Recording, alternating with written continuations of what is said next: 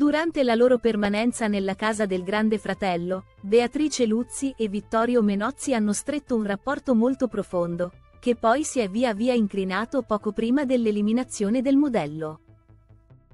Una volta concluso il reality show condotto da Alfonso Signorini, i due non si sono fatti più vedere insieme, anche se lui ha speso parole positive nei confronti dell'attrice, senz'altro è stata una figura importante nel mio percorso e penso di poter dire che valga anche il contrario.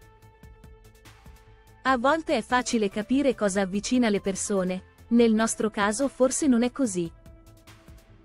Probabilmente affinità caratteriali ma anche forti contrasti, tanta poesia e il sapersi prendere in giro.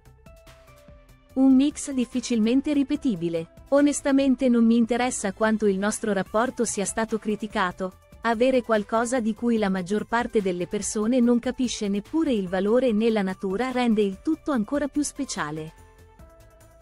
È e sarà dunque una persona insostituibile e di cui ho forte stima.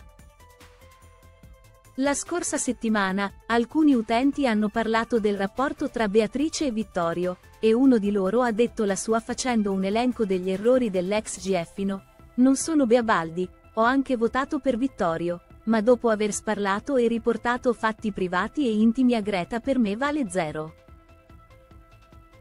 Bea buona com'è lo avrà graziato, ma questo resta per me, un bamboccio.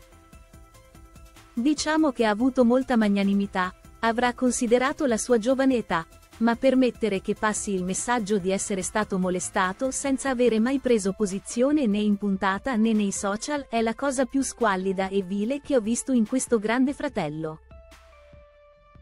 Lui ha il primo posto, la Luzzi ha concordato, e non dimentichiamoci gli applausi a Maddaloni. La tua è una buona sintesi. Grazie. Però adesso finitela tutti. Fermatevi tutti e parliamo di altro. Grazie, nelle ultime ore, rispondendo ad un utente su X, ex Twitter, Beatrice è tornata a parlare di Vittorio, sottolineando quanto la abbia ferito il fatto che lui abbia applaudito Marco Maddaloni durante la lite al ristorante.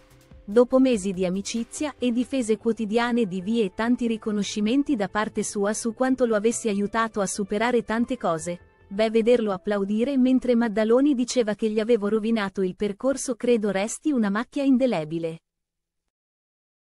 Ciò detto voglio bene a V e non avrei mai voluto rivangare tutto questo, né fare male a V, per questo sono rimasta in silenzio per mesi, ma di fronte alla inesorabile caparbietà di alcuni sono stata costretta a specificare perché non ci siamo più visti. Spero di essermi spiegata e che tu abbia di meglio da fare da oggi in poi,